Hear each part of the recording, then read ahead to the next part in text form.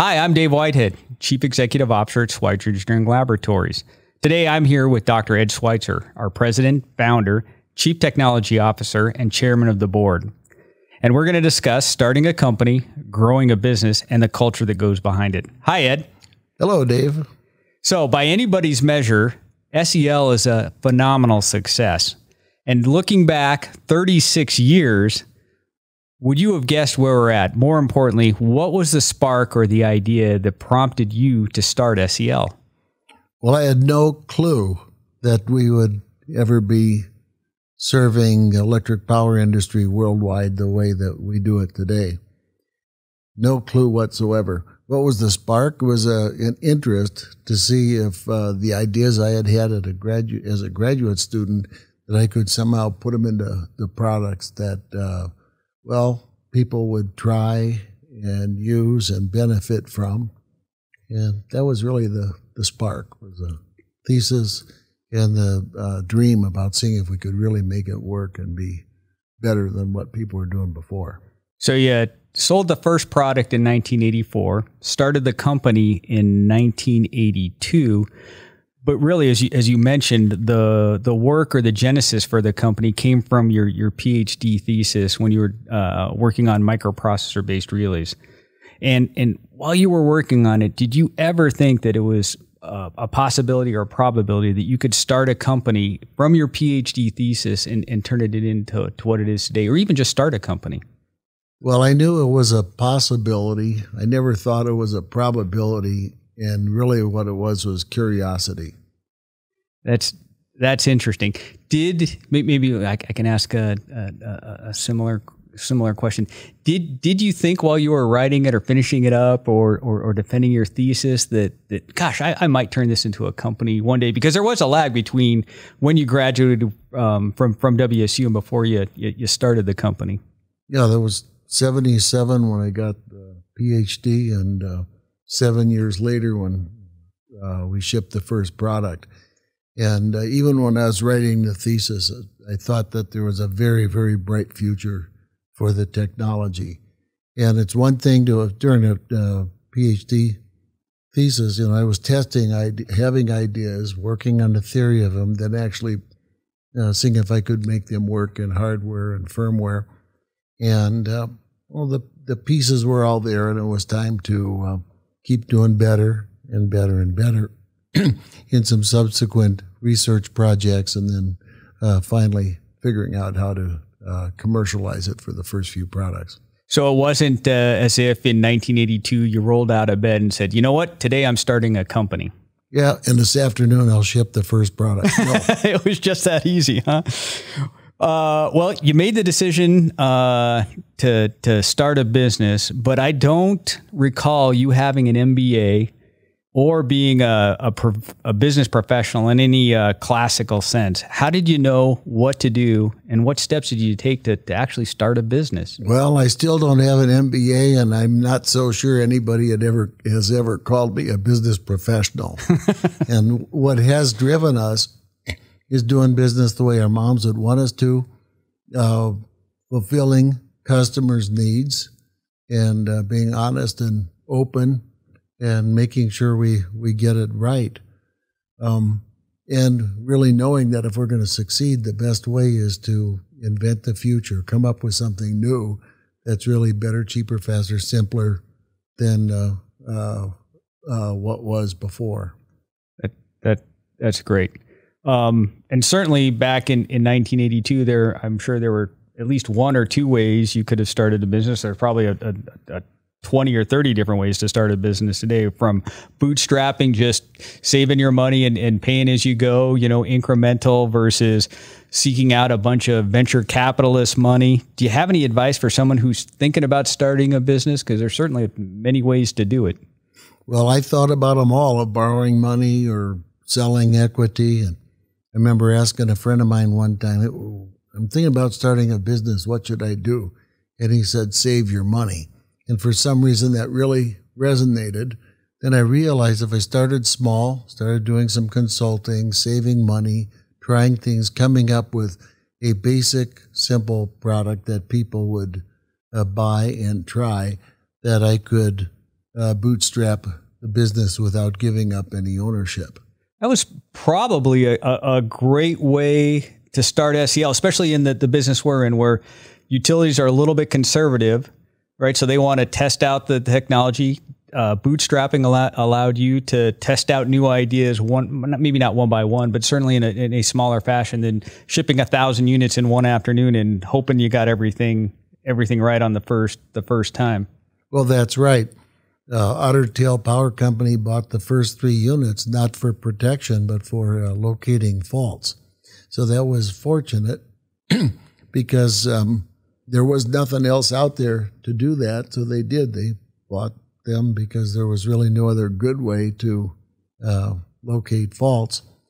And uh, uh, they and we and other people began to get experience with the technology that way. And in the process, we uh, made the relays better and better and better. And uh, uh, also the fault locating got a lot better too. and it did evolve.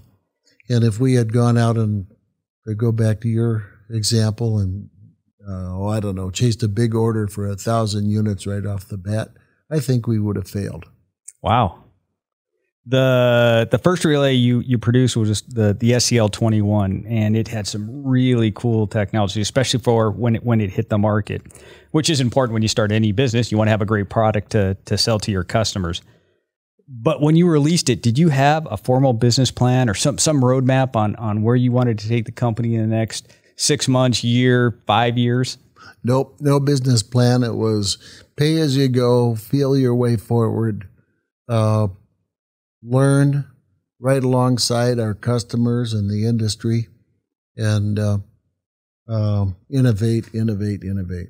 I, have I've had the opportunity to visit a lot of our customers, and they've they've all had a a, a wonderful long uh, term relationship with you, and that that's one thing that that many of them told me uh, about you, especially in, in, in the early days when you were making a lot of calls and, and working with customers to apply the technology. I thought you were going to say when I was making a lot of mistakes. Okay, I, thank you. is is is the partnership right? Especially the the things you were doing, trying to take this new microprocessor based technology, applying it to a a very traditional um, um, conservative industry. How important was the the relationship? We talk now about things like business to business, or you know, a database that handles sending out mass mailing. How how important is a relationship with a customer, or is it just about volume and and uh, shipping product out to, to to potential customers? Well, this is really people to people.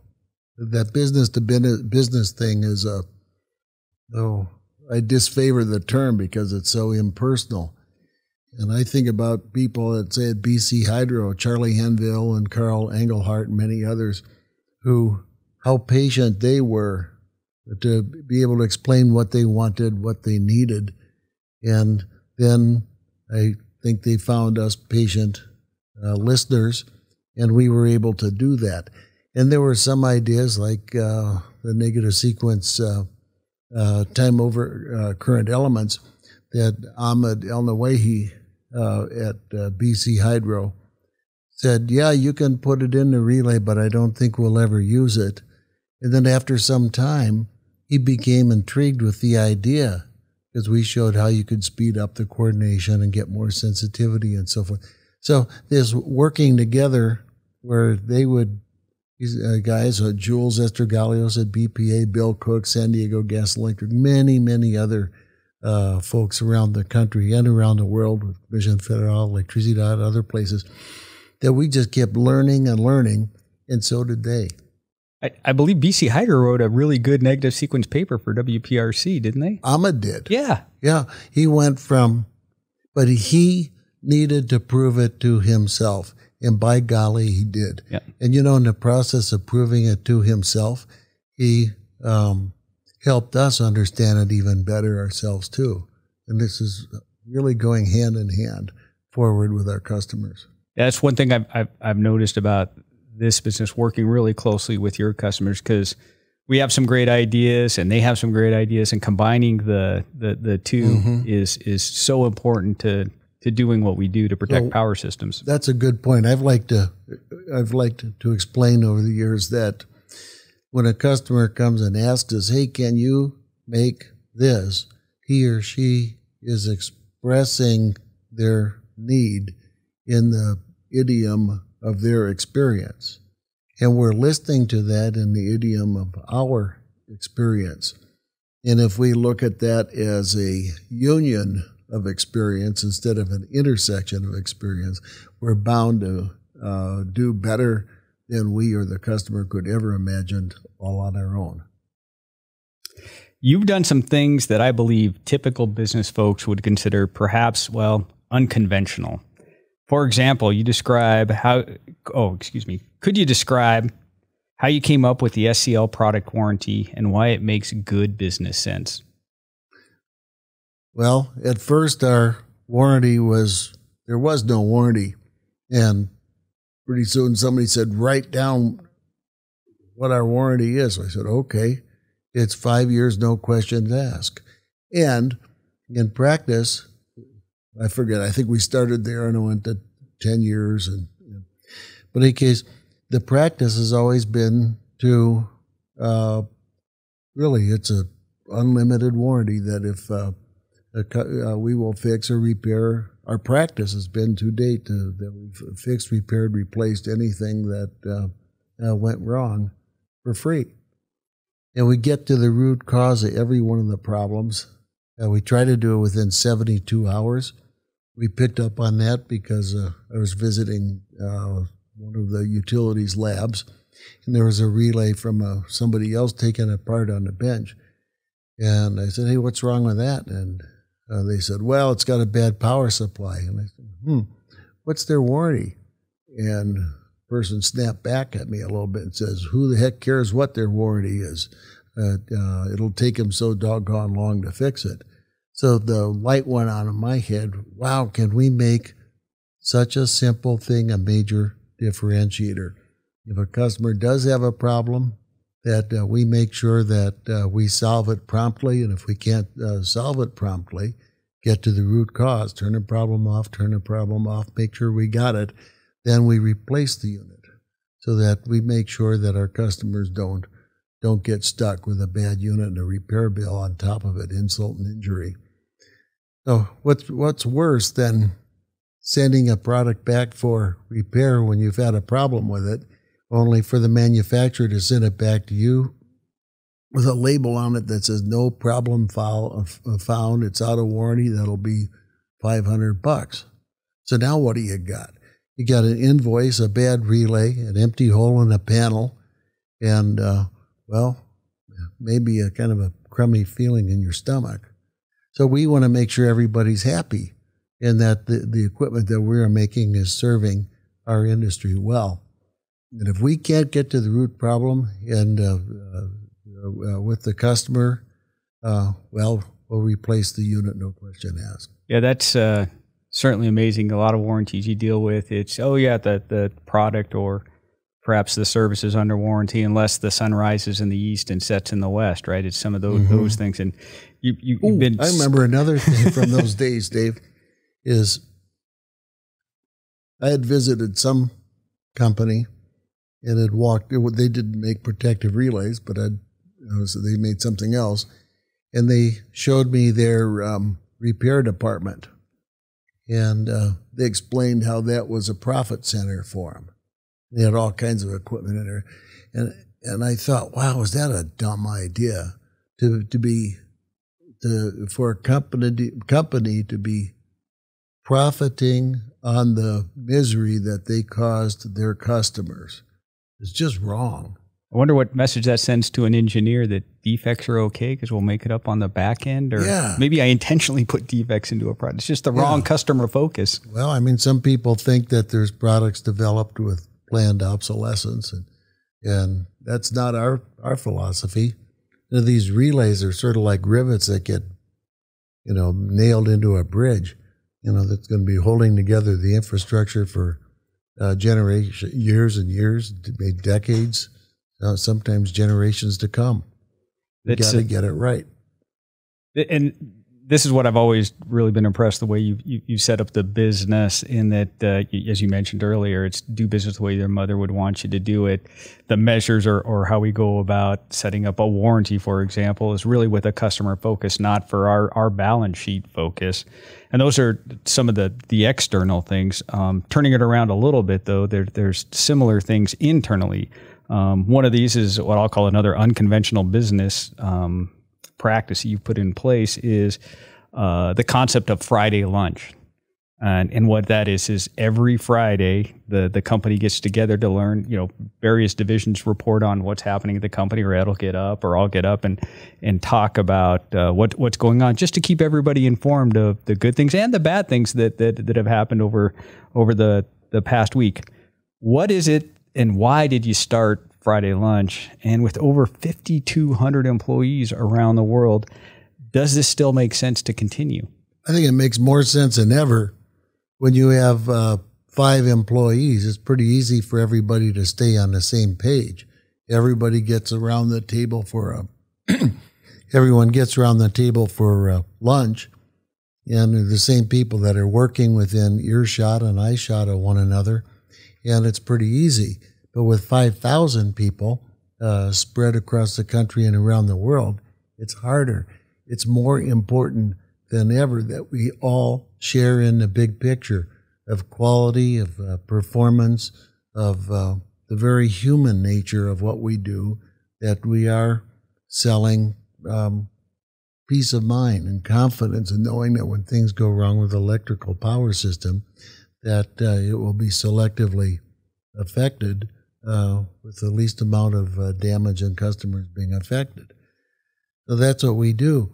And we have to be talking about that over and over again so that people can see how everyone's work, whether I'm designing equipment or building the equipment or fixing equipment or ordering parts or laying out a circuit board or, or uh, selling or designing it into an engineering service project, whatever it is I'm doing uh, writing a brochure, preparing a presentation, uh, going to see a customer, teaching an SEL university course is whatever I am doing, I need the big picture in order to really get it.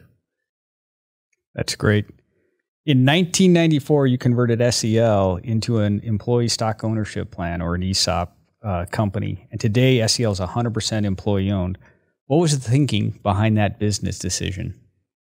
Well, kind of going back to the beginning with the uh, entrepreneurial thing, where I really wanted to keep ownership of the company. That, of course, over time, that does need to change. But the uh, beautiful thing about ownership, it's the difference between owning your house and renting a house. Is it's it's uh, truly yours. It's your responsibility and your uh, something to enjoy and benefit from.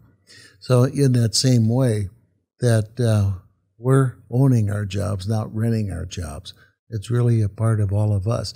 And who better to own it than uh, we, the people at SEL, who are actually doing the work?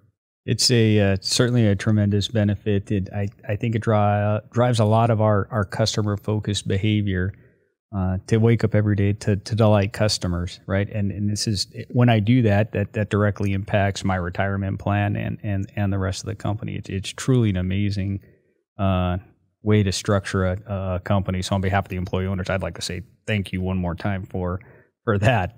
It's a dream come true, Dave. Well. Ed, it's, it's been a great conversation uh, talking about starting a business. Though I recognize you've, uh, or you told us you never took an MBA or you never got your MBA or took your MBA classes, I'd, I'd love it if you wrote a book on on how to start a business. Maybe call it "Doing Business the Way Your Mother Would Want You to Do It" or something like that. What a great idea! All right. Well, thank you, Ed, very much. Uh, thank you very much, David. Appreciate it. Thank you for stopping by Schweitzer Drive. Join us again as we learn about, explore, and celebrate electric power. For more information about the show, please visit selinc.com slash Schweitzer Drive.